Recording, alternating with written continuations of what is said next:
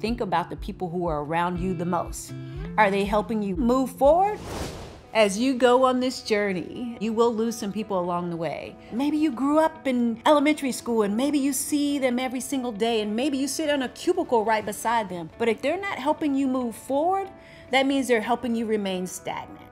It is either you or them. Now, let's just be honest, and I'm not saying you have to choose, but you do have to choose. As you go on this pathway and there are people that you want to be there, how about you get to the place where you want to be and then you go back and get them? That is not a good idea for you to try to take them on this journey as you're figuring out who you are Bad support systems, we have them everywhere. And I'll be honest, sometimes it's family. Ooh, it could be that hubby. Ooh, it could be your best friend. It could be mom. It could be grandma.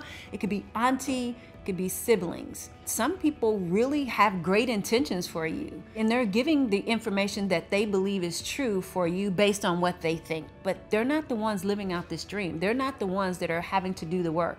And so the bad support system could be someone just trying to protect you from getting your feelings hurt. One of the indications that you may have a bad support system if there's someone in your life that is telling you to do something that does not align with what you know you've been called to do.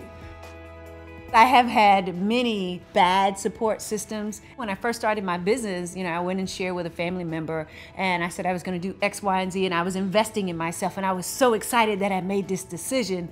And the first thing that I heard was, well, Auntie so-and-so tried that and it didn't work. And of course, what happened to me at that moment, like many of us, it just our whole emotions and excitement just kind of just ah squeezes the life out of us. How to turn a bad support system into a great support system is laying out your boundaries of what it is that you need and what it is that you deserve in your life. Simply because you created boundaries for yourself and you were boisterous enough to say, That's not what I need, that's not what I want, and at this time I'm going in that direction, maybe it's not the proper thing for you to go along with me. You may be on a journey where you're doing this alone. Look for the support system within yourself. This would allow you at times when you may be doing this alone, having that conversation with self and understanding that this is what we need to do. When you're on this journey to living your best life and you're looking for a great support system and you have a positive outlook on life, you will have a tendency to attract what it is that you need.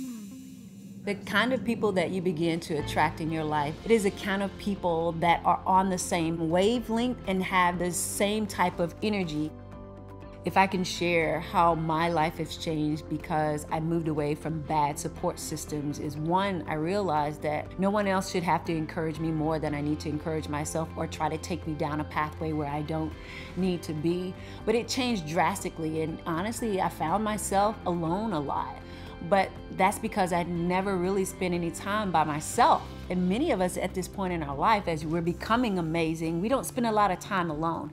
And so it gave me the opportunity and it gave me the responsibility to me first, long before anyone else. My support system looks like now a team of coaches, a team of experts, and strategists. I have a team of people who don't just tolerate me, but they celebrate me. The most successful people in the world have a network of support from like minded people and they build each other up. But on this journey to you becoming and living your best life, the support system that you truly need may just be on the inside of who you are.